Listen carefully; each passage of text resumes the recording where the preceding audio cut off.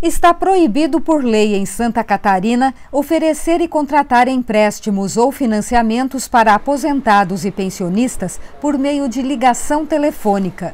O projeto de lei, aprovado em plenário pela Assembleia Legislativa, foi uma iniciativa do deputado licenciado Luiz Fernando Vampiro.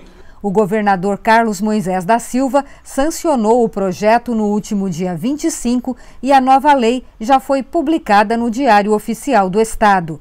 A norma estabelece que, em caso de descumprimento, o infrator estará sujeito às sanções previstas no Código de Defesa do Consumidor, que vão de multa à suspensão das atividades ou cassação do alvará de licença.